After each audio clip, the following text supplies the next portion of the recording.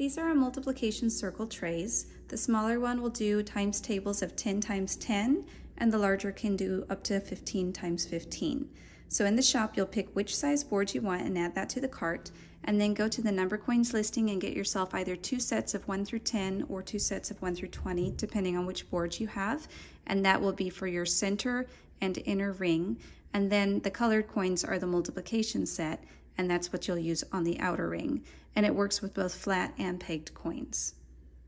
So this is what they look like when you've filled them up. So I have my non-colored coins here and I picked out what number I'm multiplying by and put it in the middle.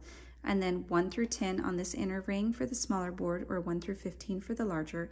And then the colored multiplication coins around the outside. So this shows you skip counting if you just bounce from coin to coin, 6, 12, 18, 24. And then it shows you multiplication if you work your way from the inside out. 6 times 7 is 42, 6 times 8 is 48. And division if you work from the outside in. 18 divided by 3 is 6, or 24 divided by 6 is 4.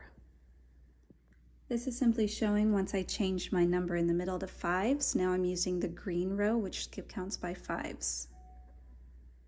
These trays also work really well with our life cycle coin set. So you can use pegged or flat coins once again, and they have different animal sets on there.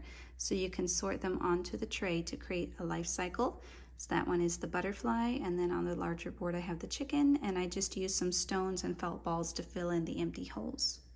And now I have the board set up so that you can do spelling and color sorting. So this is our set of color gradient coins and then you can set it up for a color wheel going in rainbow order on there, or you could focus on maybe just all of the warm tones or the cool tones. And then here I have our alphabet letter coins, and this is starting with the B in the middle and then reading as you work your way out. So bun, bam, beg, bin. So just another activity you can do on these trays. And here's one last idea I have for you. Using these trays, you can fill them with stones or glass gems or wood balls, um, dried corn, and make really pretty mosaics on them. I did just have one more idea. I took a batch of Play-Doh and I smushed it on the board. And so when you peel it off, this is what you get. So this would be really fun to just push down with your fingers, or you could take the different pieces and push them into the Play-Doh to make your mosaic like that.